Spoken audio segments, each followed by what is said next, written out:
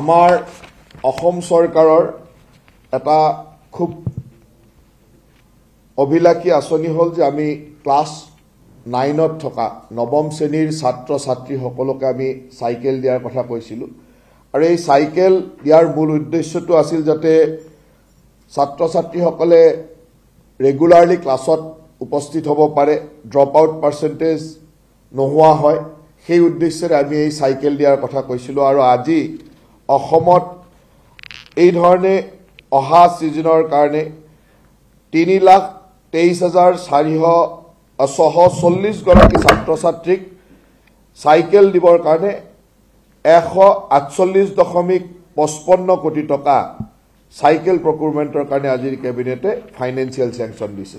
গতিকে এই টকাৰে আমি তিনি লাখ তেইছ হাজাৰ চাৰিশ ছয়শ চল্লিছগৰাকী ছাত্ৰ আৰু ছাত্ৰীক নৱম মানৰ ছাত্ৰ ছাত্ৰীক আমি চাইকেল দিব পাৰিম আৰু তাৰ ফলত আমি আশা ৰাখোঁ যে ছাত্ৰ ছাত্ৰীসকলৰ দূৰণিবতীয়া ছাত্ৰ ছাত্ৰীসকলৰ স্কুল টাইমলি পাব পাৰিব আৰু স্কুলত ড্ৰপ আউট পাৰ্চেণ্টেজ যথেষ্ট কম হ'ব।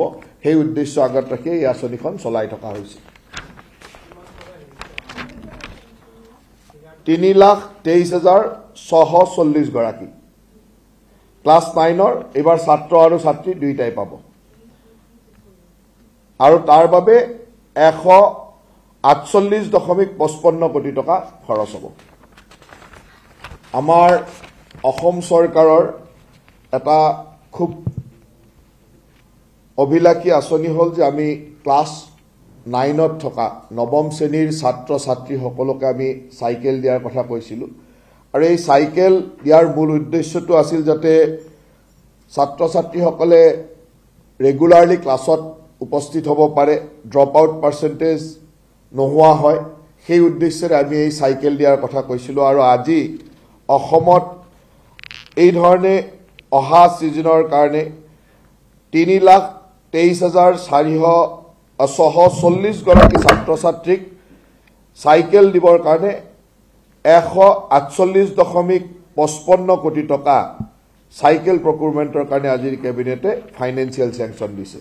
গতিকে এই টকাৰে আমি তিনি লাখ তেইছ হাজাৰ চাৰিশ ছয়শ চল্লিছগৰাকী ছাত্ৰ আৰু ছাত্ৰীক নৱম মানৰ ছাত্ৰ ছাত্ৰীক আমি চাইকেল দিব পাৰিম আৰু তাৰ ফলত আমি আশা ৰাখোঁ যে ছাত্ৰ ছাত্ৰীসকলৰ দূৰণিবতীয়া ছাত্ৰ ছাত্ৰীসকলৰ স্কুল টাইমলি পাব পাৰিব আৰু স্কুলত ড্ৰপ আউট পাৰ্চেণ্টেজ যথেষ্ট কম হ'ব। সেই উদ্দেশ্য আগত ৰাখি এই আঁচনিখন চলাই থকা হৈছে। তিনি লাখ তেইছ হাজাৰ ছশ চল্লিছগৰাকী ক্লাছ নাইনৰ এইবাৰ ছাত্ৰ আৰু ছাত্ৰী দুয়োটাই পাব।